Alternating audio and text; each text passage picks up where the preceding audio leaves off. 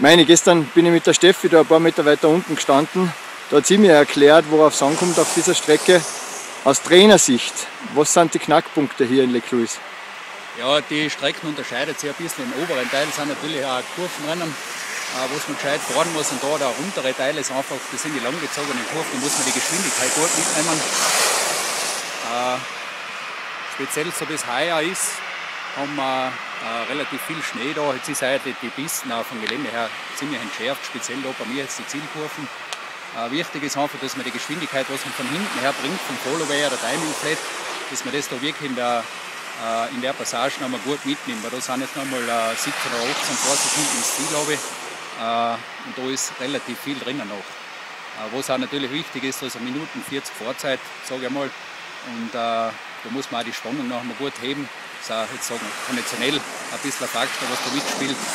Und ja, aber unsere haben das jetzt die letzten Tage eigentlich ganz gut gemacht. Oder? Jetzt muss man nur schauen aufs Rennen hin. Heute haben wir das dritte Training, dass wir da die Konzentration da heben, bei leichten Passagen allem, äh, dass da alles passt und dass wir da ins Speedboard mitnehmen.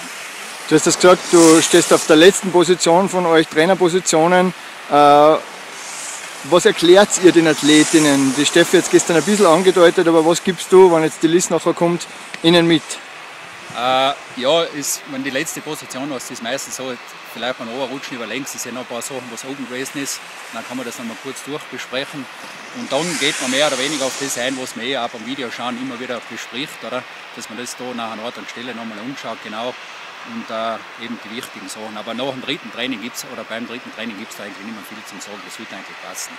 Okay, meine, danke.